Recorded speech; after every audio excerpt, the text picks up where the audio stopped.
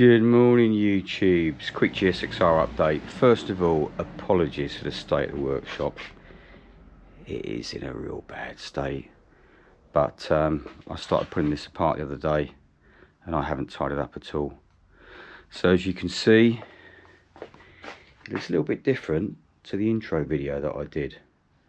Uh, first things first, new battery on there. So that's done and I have had a delivery from the postie this morning. All this stuff. Some of this stuff did arrive the other day.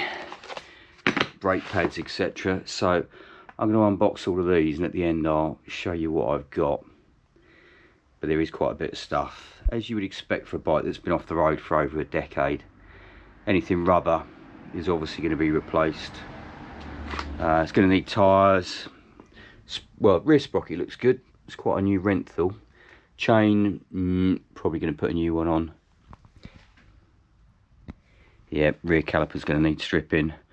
Front sprocket I haven't seen. Rear shock, that probably needs replacement.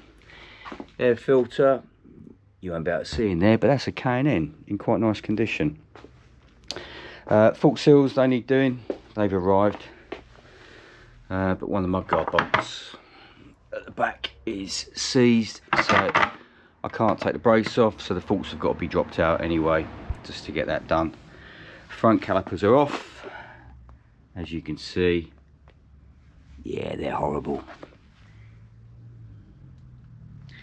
Look all the muck in there so they need doing. And obviously the master cylinder's off that's going to get done as well. Uh, what else what else? Oh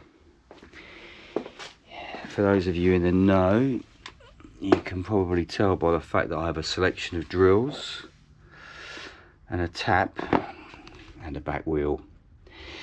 Yeah, apart from anything, the rear disc was only hold on, held on by two bolts. So I do have a bolt kit that should be arriving at some point. And one of the discs, disc bolts had sheared off. It was actually that one.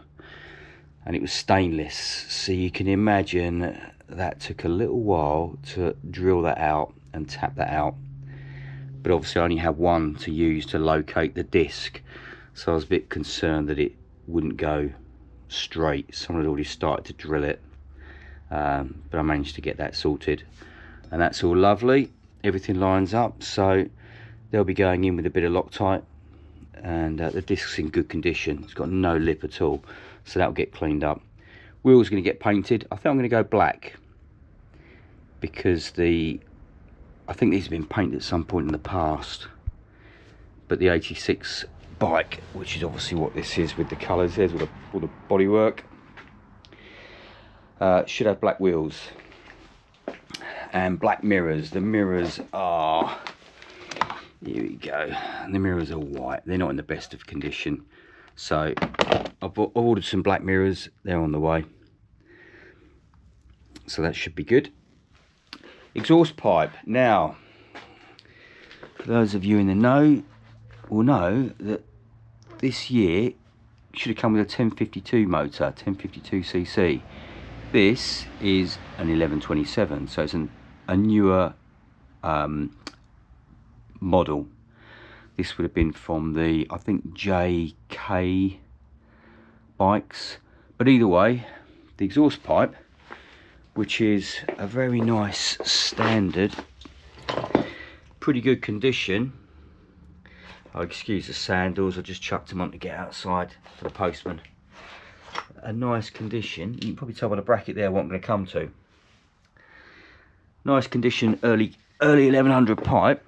Doesn't fit because when you try and mount it it hits the sump so the can hangs too far up at the back so uh, a friend of mine who used to drag race uh, bandits and stuff like that, he's got an exhaust pipe, which I'm going to try. He's also got uh, a nice flowed head with cams, race springs. He's got a big block uh, motor. He's got various sumps, so I might just change the sump and use that standard can, that standard exhaust.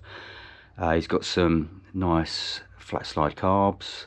He's got quite a few tuning parts but obviously they're not cheap and whilst this bike was cheap I don't really want to spend a fortune on it and because it is still fairly standard that might be the way I'll go uh, I'm not really interested in tuning it to make it fast but this exhaust weighs a fucking ton. If ever you've picked one of these up I mean I'm not going to weigh it. I don't think I've got any scales that go that high. It is ridiculously heavy. And I'm talking it's got a weigh you let's give it a guess. I reckon that has got to weigh 10 to 15 kilos. Easily. Yeah crazy. Right let's get this unboxed and I'll be back in a second to show you all the goodies that I've bought. Cheers. I'm back and I've unboxed everything. Now firstly and the thing I'm happiest with is now you wouldn't have seen this but someone has butchered the back end of this bike. There's a bracket there which supports the number plate light and it's been cut off at the rear.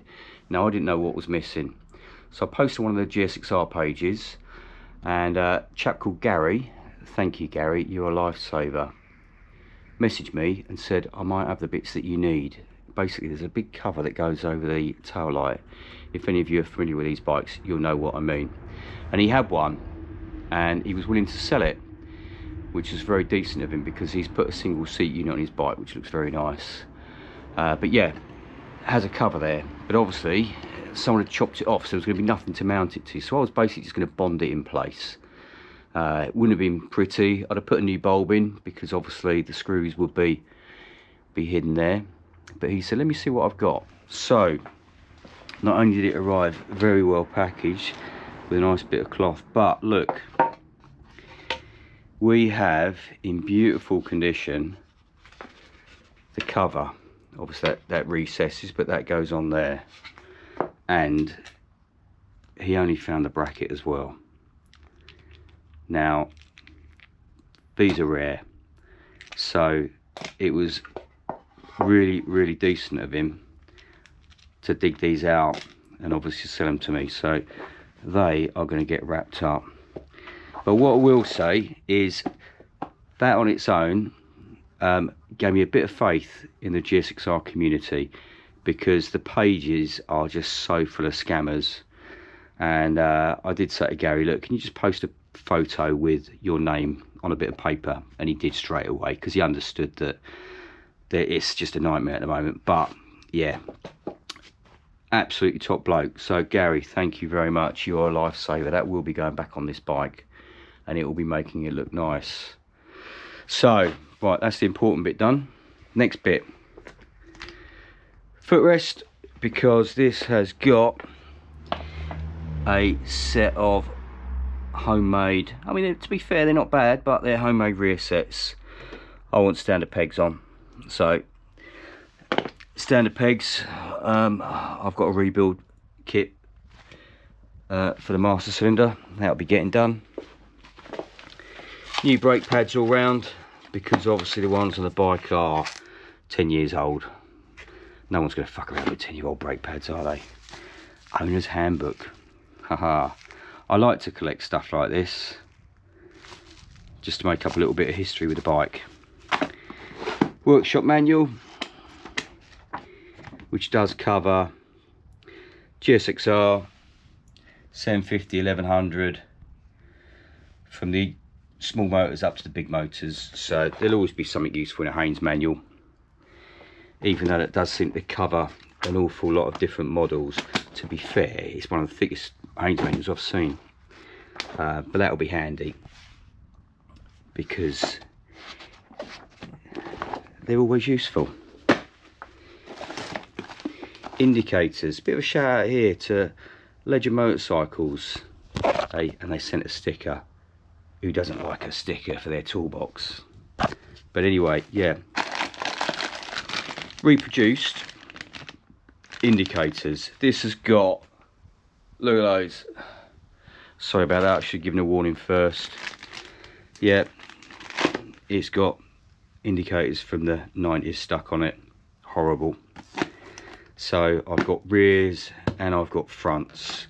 Now the fronts, when I fitted those abortion indicators on the front, there are some extra holes. Now there should be a grommet that goes around there. I've got to source those. So if anyone uh, knows where you can get them, let me know. Oh, and also, I need a right hand footrest and gear lever. Uh, right hand, left hand. Left hand footrest and gear lever. Uh, so if anyone knows where I can find one of those, because they seem to be difficult to get, let me know. And if anyone wants to buy some rear sets, let me know as well. They'll be up for sale.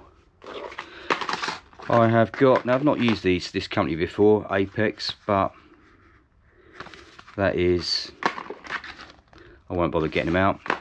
Front brake caliper rebuild kits. They're going to get rebuilt, obviously, as you can see. And uh, what do we got? I think that is the front brake master cylinder rebuild kit as well. So that's the front brakes. Yeah, master the rebuild kit. Uh, there is a rear on order somewhere. That'll be on its way. And uh, rear brake caliper. Fork seals, because they need doing. I've used pyramid parts before. And I've never had any problems with them. So I thought, why not? Let's go from again. They all seem uh, decent quality. As I say, I've used them previously.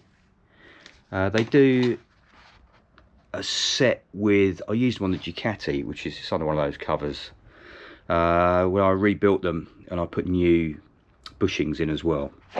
And I was pretty happy with them. So they went in. And then some Renthal grips. I like nice grips rather than cheap crappy ones. And I do like these diamond waffle, whatever they are. So they'll be going on as well.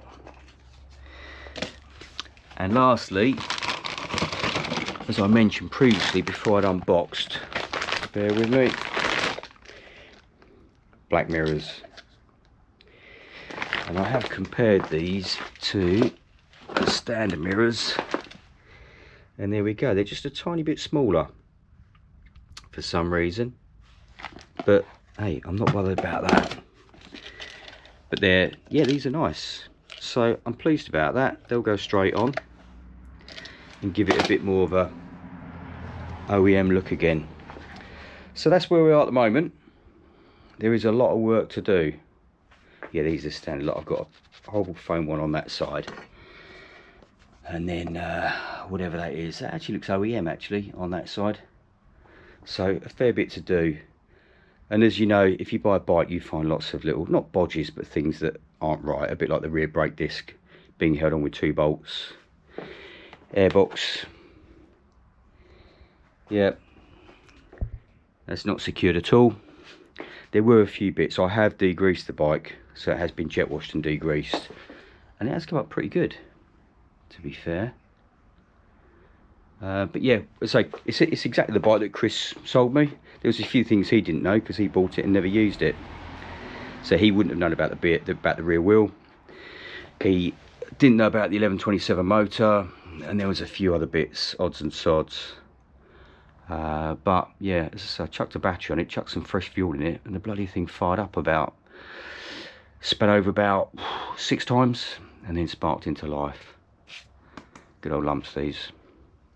Right then, unfortunately I've got to go to work today, so um, I'm off in a little bit, and then maybe next week I'll start this, start bolting the bits back on brake calipers first, get the front end done, get the fork seals done, get the wheel out, get these discs checked, check all the bobbins, check the wheel bearings, needs a new front tyre, and I'm going to paint the wheels black. Because someone's painted these, look, they didn't even mask the valve off.